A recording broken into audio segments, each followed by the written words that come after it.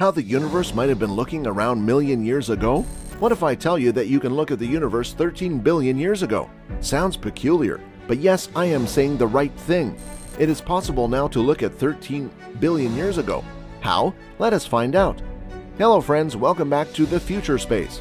Today we are back here again with some interesting news. Now we can actually look in space around 13 billion years ago. How? What is the science behind this? Well, this miracle became possible due to the telescope. But how can a telescope look behind in time? Let us look at all these things in detail.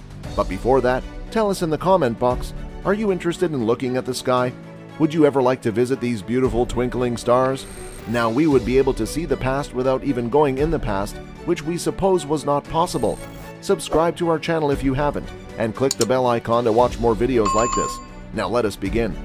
In a statement that was issued on Monday, July 11, the National Aeronautics and Space Administration of the United States of America announced that its James Webb Space Telescope, or JWST, had produced the clearest and most detailed infrared image of the far reaches of the universe that have ever been observed, signaling a significant breakthrough in the field of astronomy.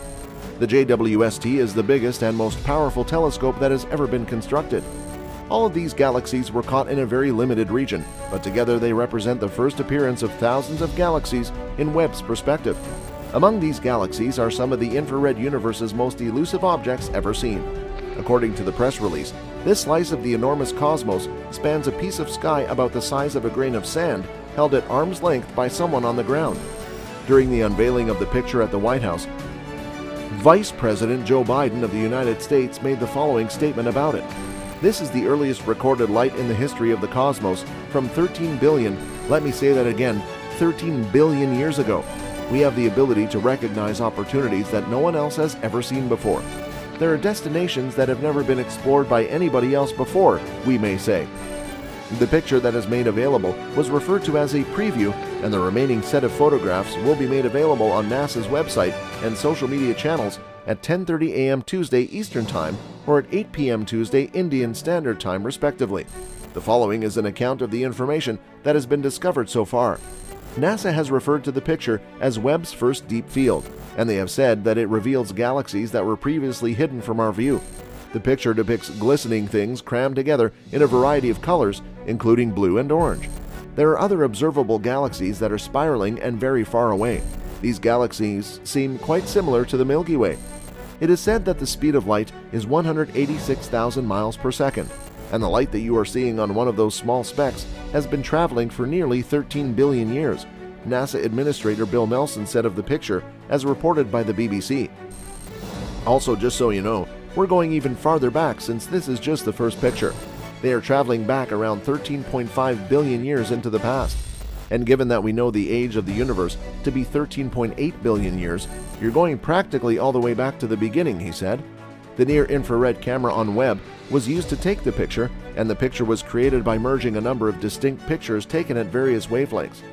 The galaxy cluster known as SMACS 0723 is seen here as it looked 4.6 billion years ago in this photograph. The combined mass of the galaxy cluster works as a gravitational lens, magnifying the appearance of galaxies that are located behind it that are considerably farther away. As Webb searches for the oldest galaxies in the cosmos, this will assist researchers in understanding more about the masses, ages, histories, and compositions of the galaxies they study. What exactly is the James Webb Telescope that NASA has in its arsenal? Well, it is a pretty great thing that a telescope has reached this position that we are able to even see in the past. Our world is progressing every day, but would you say it is a growth? Tell us in the comment box. Now let us get back to our topic. The construction of the telescope has been ongoing for a good number of years. In collaboration with the European Space Agency, the Canadian Space Agency, and NASA, the development of this spacecraft was headed by NASA. It was sent into space on a rocket on December 25, 2021, and is now located in a location in space that is known as the Sun Earth L2 Lagrange point. This location is roughly 1.5 million kilometers beyond the orbit of Earth around the Sun. Lagrange 1 of the five points that make up the orbital plane that connects the Earth to the Sun is referred to as Point 2.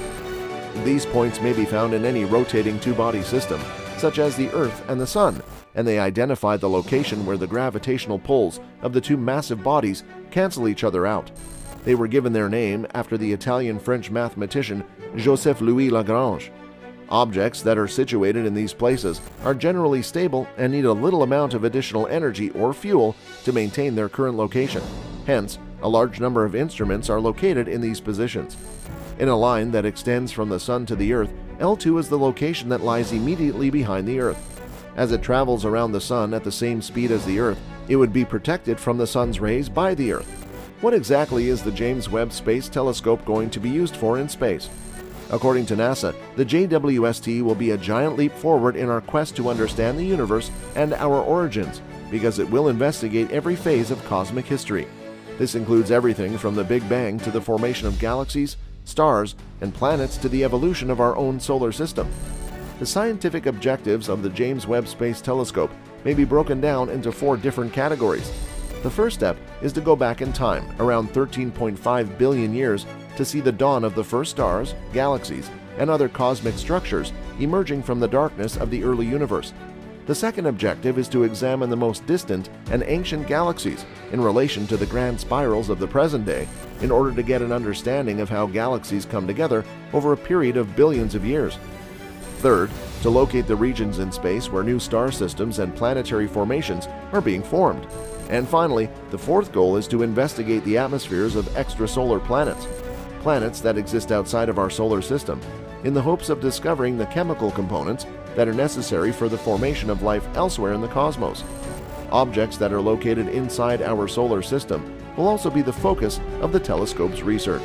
A visible light observatory of an older generation, such as the Hubble telescope, will not be able to see through large clouds of dust, but the JWST will be able to look straight through and into these clouds. The Hubble Space Telescope does not have any cameras or other sensors that are sensitive to infrared or heat radiation, but the James Webb Space Telescope does. This is another distinction between the two telescopes. According to a report by the New York Times, the expansion of the universe causes the light that would normally be in wavelengths that are visible to be shifted to longer infrared wavelengths, which are normally unperceivable by human eyes. This shift occurs because longer infrared wavelengths travel further than visible wavelengths. That's all for this video. Tell us in the comment box, would you like to see your past? How exciting it would be to look in the future?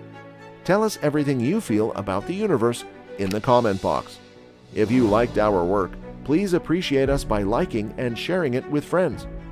Also, if you want to watch more videos like this, subscribe to our channel and hit the bell icon to watch more videos like this. Thanks for watching.